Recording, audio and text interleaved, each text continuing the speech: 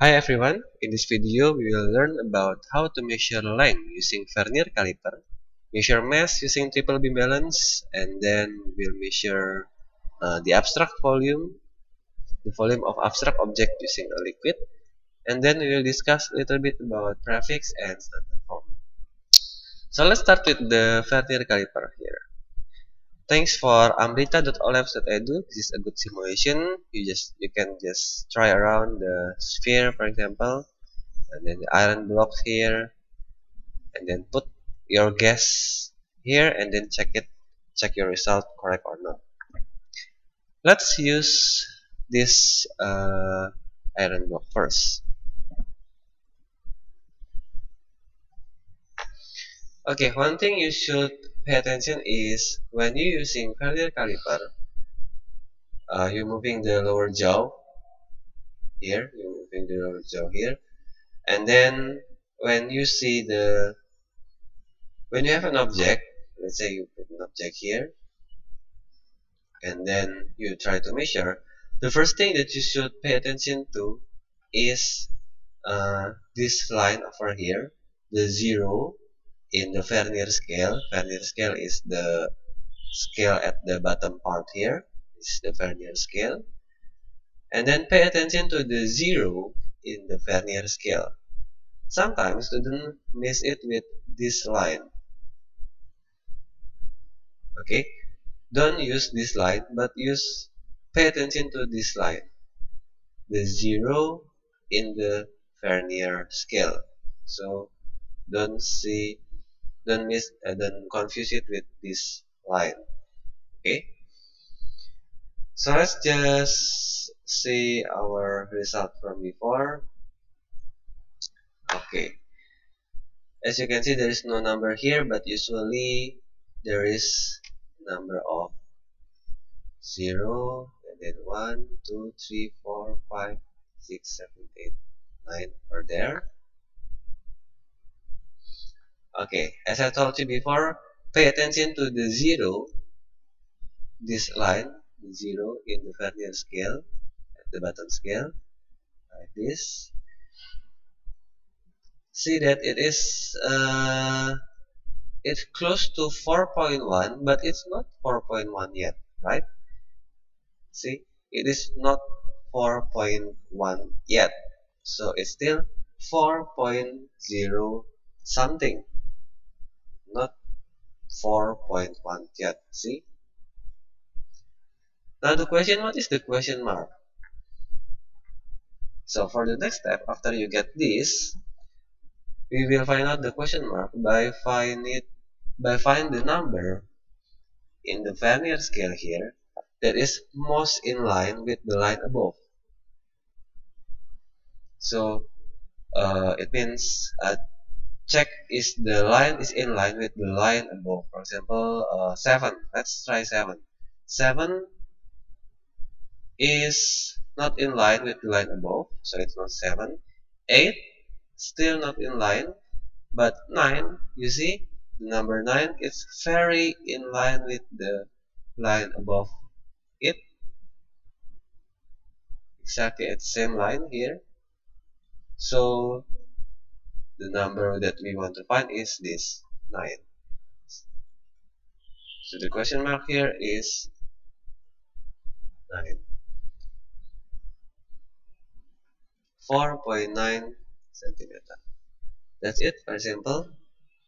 Let's uh, check our answer. Is it correct? 4.09 it's correct Let's try one more time. bigger Okay. Now, as you can see, when you want to find the beaker inner diameter, you want to find inner diameter, we use the smaller jaw, the one at the top, the jaw at the top, instead of the jaw, the low, uh, the bigger jaw at the bottom, and that's how you use it. How to read it? It's still the same. Let's let's try it.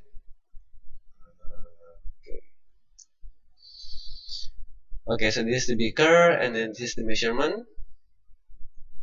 The number 1, 2, 3, 4, 5, 6, 7, 8,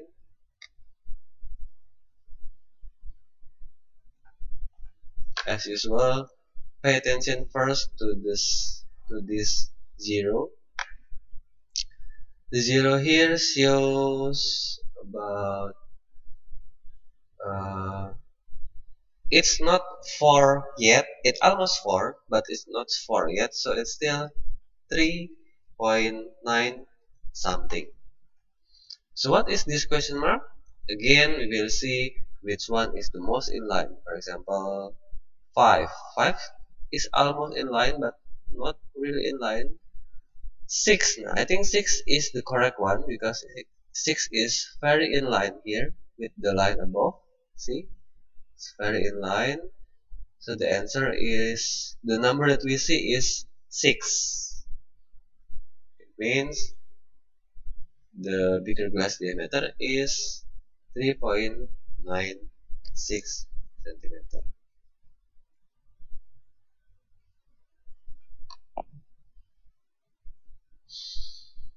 Okay let's check it in the simulation.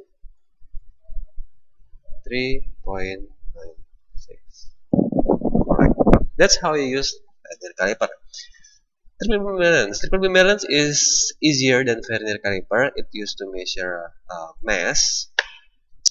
Triple beam balance triple beam balance means there is three beam. The biggest beam is the one at the middle. You see it show 200 the medium beam at the back it shows 10 and the smaller ones uh, it shows you the smallest measurement which show you about 7.3 7.3 or 7.4 okay let's just put the number here.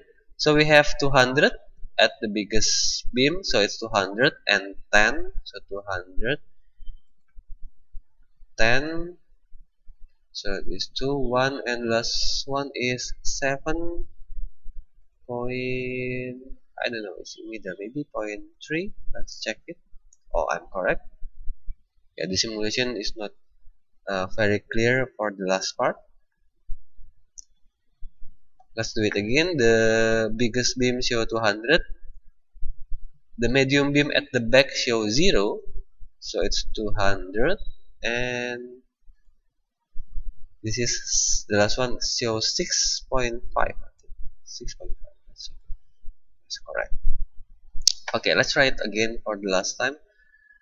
100 for the biggest beam in the middle and then 50 so 150 50 from the medium beam. The last one at the front it shows uh, 4.1 so 101 154.1 yes correct that's it. That's how you use triple beam balance next density uh, sorry the volume. To measure the volume of an abstract object well usually it's an abstract object that cannot be measuring that cannot be measured using a formula like a cube. For a cube you can just use a length times with height and width. But if you have an abstract object, let's say this is an abstract object, you can measure its volume by using a liquid. Just find the difference. For example, this before I put I submerge the object, it is 100 liter. After I put the object, it is 105.5, and the difference is 5.5 liter. So the volume is 5.5. That it. That's it. Very simple. The smaller one, the difference is 1 liter so the volume is 1 liter that's how we measure the volume of abstract object. Usually we use measuring cylinder instead of the poles like this simulation. Okay next I want to talk about the prefix the prefix and standard form. Well yes you must memorize this. There is no shortcut. You must memorize at least this part from tera, giga, mega, kilo, hecto, deca, this is centimilli, this is the common one, and micro, nano, maybe until pico. So from tera to pico, you must uh, at least memorize it and practice to use it to make sure you don't forget. Um, the other way to make it simple, because uh, this prefix is used to simplify the lot of zero number here, right? So 0, 0, 0, 0 here can be simplified using a prefix like this, micro. And then there's a lot of zero here can be simplified using this prefix nano. Another way is using the standard form like this, 10 power something. Um, for me, if you have, let's say, a big, a very big number like this, for example, all you need to do is to count the zero, right? How many zero here? For example, we have one, two, three, four, five, six, seven, eight. We have eight zero, so we can just change this into 65 times with 10 powered by 8 or maybe if you want to make it 6.5 it's also okay 6.5 times 10 power just put another uh, just plus the power into 9 like this. Okay? But in decimal if you have a very small number like let's say this decimal for example like this uh, for me there is uh, there, there is several way.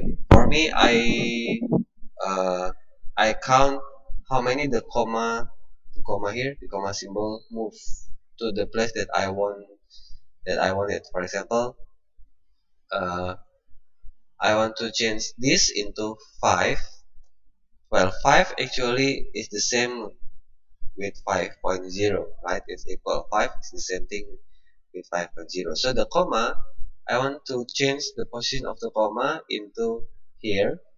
So it must move 1 2 3 4 5 6 7 8 9 so it will become 5.0 times 10 powered and don't forget to put negative because this is from a small number from decimal 10 power minus 9 why 9 because the commas need the comma the comma symbol need to move 9 times to the position that I want which is 5.0 if I have let's say 0 0.00 0, 0, 1 to 5 for example like this and then I want to change it into 12.5 it means the comma should change should move 1 2 3 4 5 6 so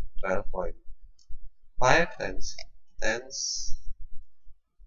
power minus 6 minus because it's from decimal 6 because it must move 6 times to the position that I want.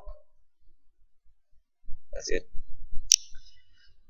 And if you already know how to use this, it will be easier for you to calculate, let's say you want to calculate this, divide with this. You want to calculate this over this so 65,000 divided by 0 0.005 if you change it into this form it will be much easier.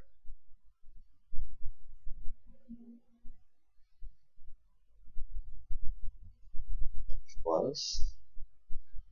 It will be much more easier all you need to do is divide the 65 and 5 65 divided by 5 will equal to 13 and then how to process this? 10 power 8 divided by 10 power uh, minus 9 well because this is a, a divide so we just need to uh, change it into this. Like this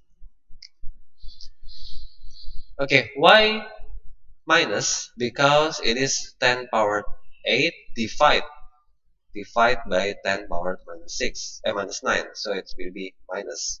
If it is 10 power 8 multiply by 10 power minus 9 then it will be 10 power 8 plus minus 9